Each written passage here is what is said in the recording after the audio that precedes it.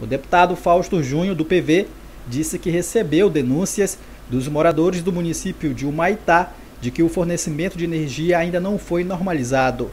A concessionária Amazonas Energia foi multada na semana passada pelo Ministério Público Estadual em 100 mil reais por dois dias de racionamento na cidade.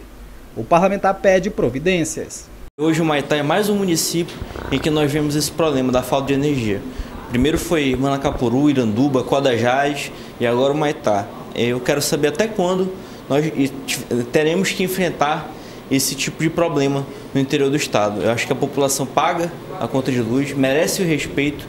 Ainda diante do caos no sistema energético do estado, o deputado sugeriu uma intervenção estadual na concessionária a fim de buscar uma solução para o problema.